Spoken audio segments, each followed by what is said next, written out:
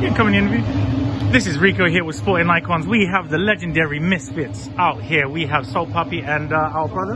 Um, how how are you guys today? How are you feeling? Enjoying the show? Uh, feeling great. Um, I just came here to support my, my guy, uh, Zach Chili and his Dodge.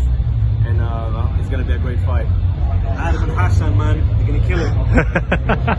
how so? Um, obviously you come to uh, support your brother over here. Tell us what what's what's on the horizon for you, Salt Papi? What's your next fight? You've obviously set the whole boxing world, whether it's crossover boxing, whether it's any type of boxing world on fire with um, with with skills that people didn't actually know that you had. What's next for you? Um, I'm hoping to fight in a couple of months, maybe May.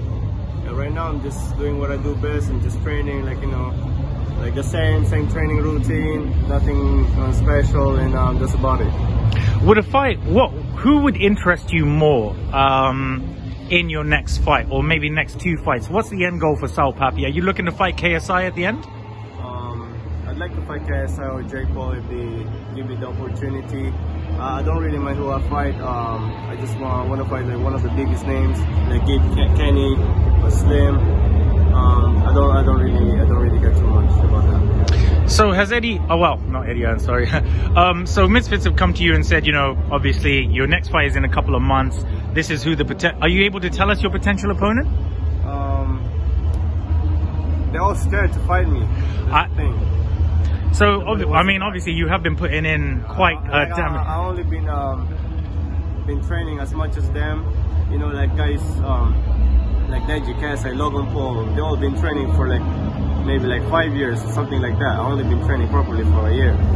You've only been training properly for a year, and you've For been year, knocking yeah. out MMA specialists and all Yeah, sorts. It's, it's That- natural, man. Like you know, I've been um, It's a Been, uh, Filipino pride. It's the Yeah. Filipino pride. Filipino pride, man. Um, been a fan of boxing.